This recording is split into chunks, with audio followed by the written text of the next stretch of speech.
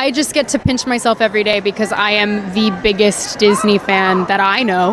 Um, whether it comes to parks, the movies, Pixar, Disney Plus, all the Disney Channel shows, I've been obsessed my whole life. So I feel very, very blessed to be playing Snow White so much. Wonderful. Yeah. And then Nothing has brought me more joy than watching the Walt Disney Company scramble over the past few weeks in response to mounting criticism.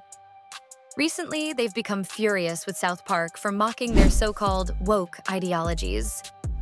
Disney has been constantly race swapping or religion swapping characters in its movies, and South Park didn't hold back in their satirical takedown. The South Park creators have done what they do best poke fun at the absurdity of it all. The newest episode, titled Into the Panderverse, features all the classic South Park characters Cartman, Stan, Butters, and Kenny being race and gender swapped into adult women of color.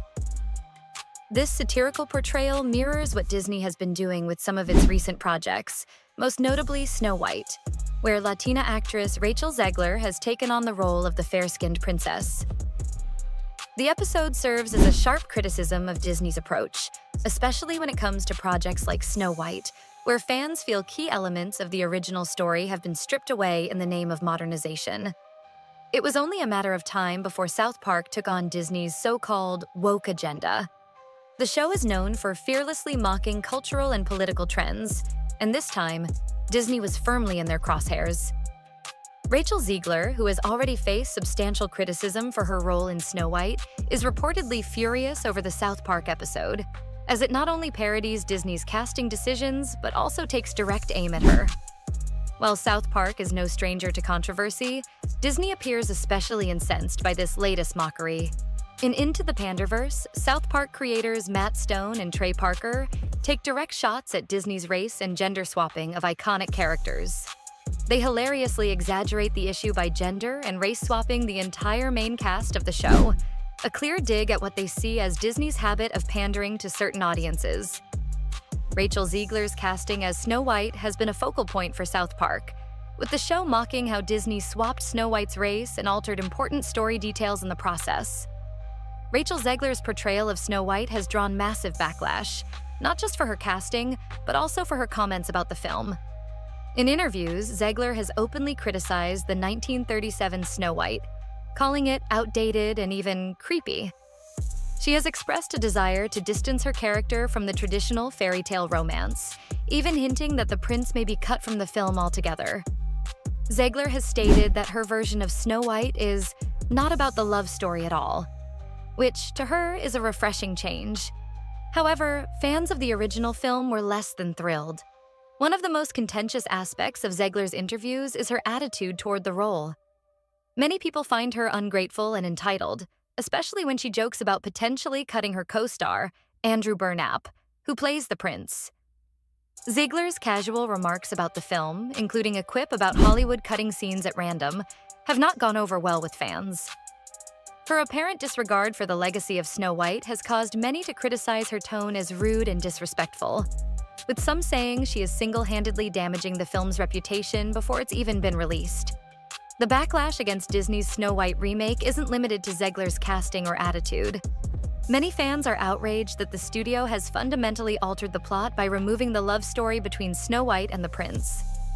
What's more, the Seven Dwarfs, integral characters from the original film, have been replaced by magical creatures, much to the dismay of fans who feel that Disney is sacrificing the story's integrity for the sake of political correctness. Fans have expressed their frustration on social media, with many accusing Disney of pandering to modern sensibilities at the expense of beloved stories.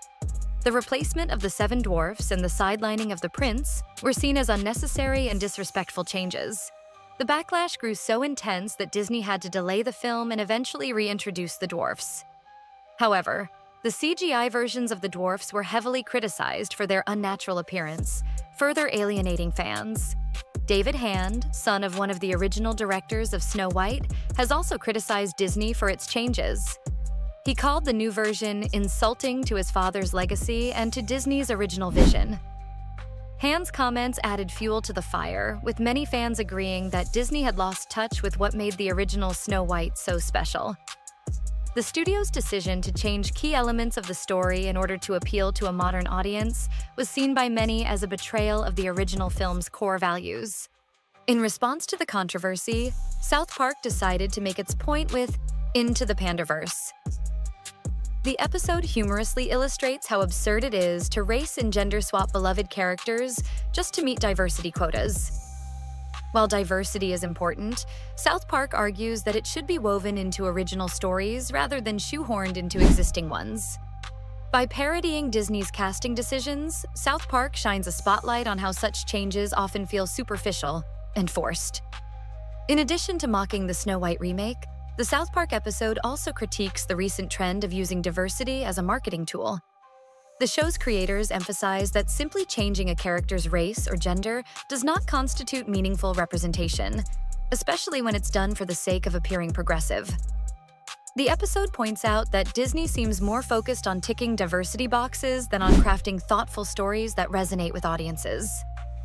This latest South Park episode has left Disney fuming. According to rumors, Disney is reportedly trying to stop South Park from airing similar episodes in the future, as they view the show's satire as a direct threat to their business model.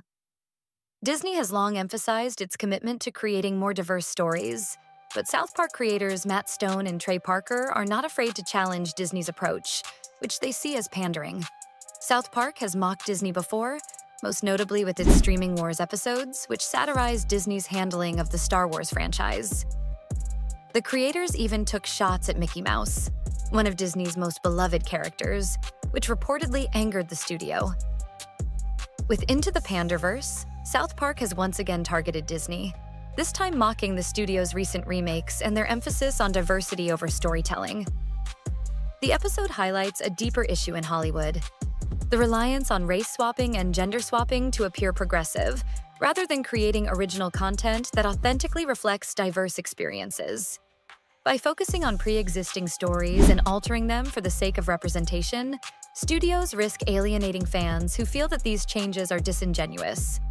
One of the key takeaways from the South Park episode is that diversity should be handled with care and respect, especially when dealing with iconic stories like Snow White.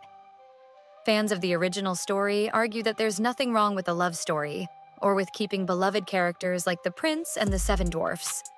They believe that Snow White can still be a strong, independent character while embracing the traditional elements that made the original film a classic. Rachel Zegler, in particular, has come under fire for her outspoken advocacy of the changes to Snow White. Many fans feel that her comments have been dismissive of the original story, and they question why she took the role in the first place if she didn't respect the material. Her negative attitude toward the original Snow White has only fueled the backlash, with some fans calling for her removal from the film. In contrast to Disney's approach, South Park's satire has resonated with many viewers who feel that Hollywood has gone too far in its efforts to modernize classic stories. The show's creators, Matt Stone and Trey Parker, are known for their irreverent humor, but in this case, their message has struck a chord with fans who are tired of seeing beloved stories altered for the sake of political correctness. The criticism extends beyond the casting of Rachel Zegler.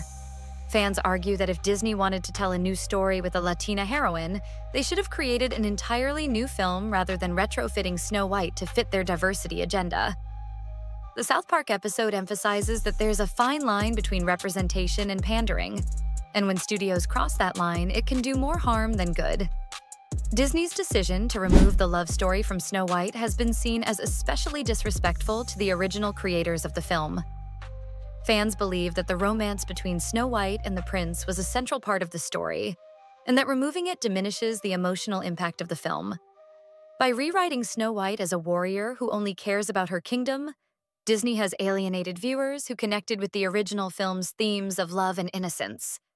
In the end, South Park's Into the Panderverse serves as a biting critique of Hollywood's current trend of race swapping and gender swapping characters in classic stories. While diversity is important, South Park argues that it should be handled thoughtfully and with respect for the original material. The episode has not only taken aim at Disney, but also at other studios that have embraced similar practices, making it clear that pandering is not the same as genuine representation. What do you think of South Park's take on Disney and Rachel Zegler? Let me know in the comments, and don't forget to check out our next video for more updates.